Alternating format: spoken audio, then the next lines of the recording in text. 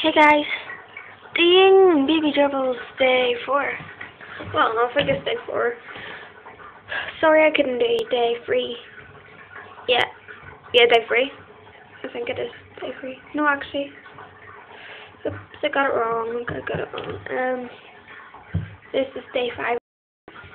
Yes, I think it is day 5. So... Sorry I couldn't do it for the past two days, like day three and four, because I was away camping with my friend and I didn't really get to do the videos. So, here are my dribbles. They have got a little fur on them, some little peach fuzz. You'll be able to see if I go up closer, but Mommy's on top of them right now. So, just wait until mommy gets off. Which is going to take a while.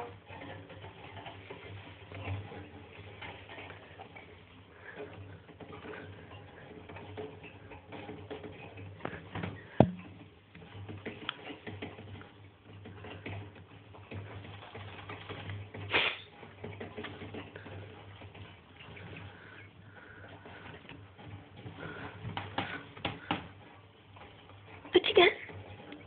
Okay. They've got a little peach fuzz in them.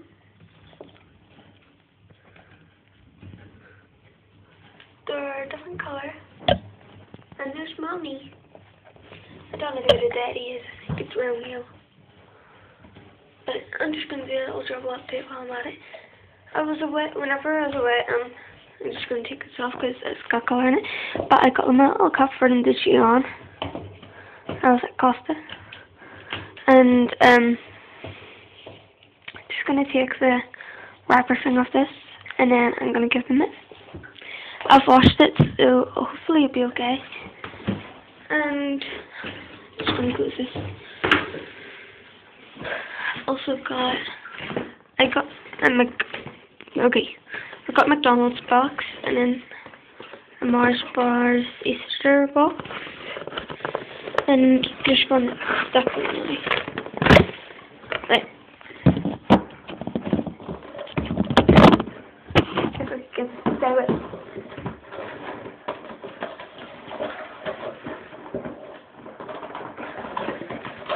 Okay, this is taking a while.